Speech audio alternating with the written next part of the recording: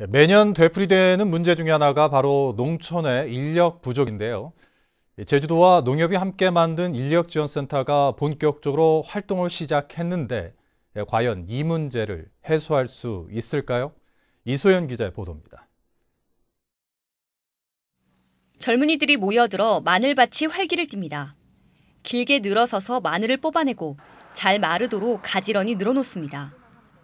밭이 넓어 허리를 펼 틈이 없지만 수확의 기쁨을 느끼고 농민들을 돕는다는 생각에 피곤한 줄 모릅니다. 농사일이라고 하니까 한 번도 안 해보는 거라서 참여해보고 싶은 그런 도전 정신? 높은 품삯을 주고도 일손을 구하지 못해 발만 동동 구르던 농민들에게 대학생들은 가뭄의 단비나 다름없습니다.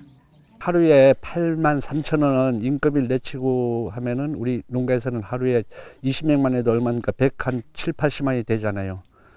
그런데 학생들이 와서 하니까 우리 농가 입장에서는 많은 도움이 되고 있습니다.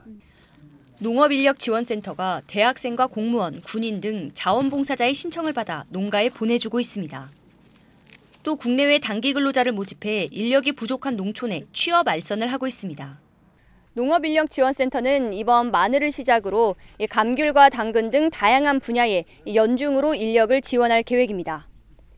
현재 일손을 바라는 농가는 520곳에 6천 명이지만 자원봉사자는 턱없이 부족하기만 합니다.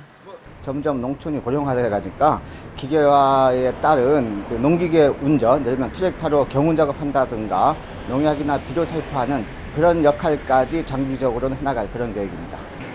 제주도와 농협은 농업인력지원센터를 상시 운영할 계획이어서 농촌의 고질적인 인력난이 해소될지 관심이 모아지고 있습니다. MBC 뉴스 이소연입니다.